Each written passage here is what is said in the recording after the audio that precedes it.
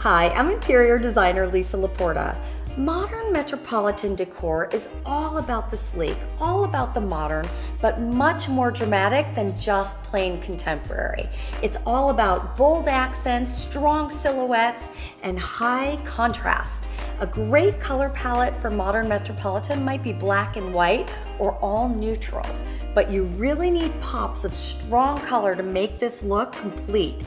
Jewel tones like rich greens, rich reds are really great complements to create high drama.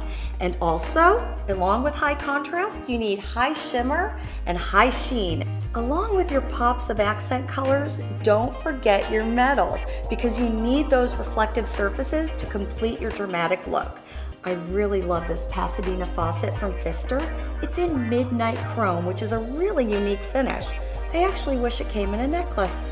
Just remember, when you're completing any room decor, make sure your personality comes out because it's all about you and your home and it's all about the memories that you create there.